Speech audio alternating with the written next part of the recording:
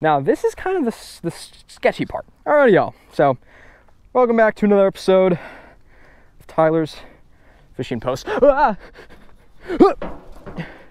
Oh, we have a Publix shopping cart. This is like perfect cover for bass, y'all. I don't ever fish unless there's a Publix shopping cart. I don't ever target like bluegill and stuff, so like I don't really know what I'm doing. I'm not a micro fisherman. I'm gonna sit down. Hopefully I don't get splinters. Okay. Oh, I got hit there for a second. Oh, I did get hit. Got it. Got him, y'all. Got him. Got him. Let's go. Oh my gosh. Oh my gosh. No way. No way, y'all. Oh my gosh. I just caught a fish on this bait. Oh. that was so painful. Oh my gosh.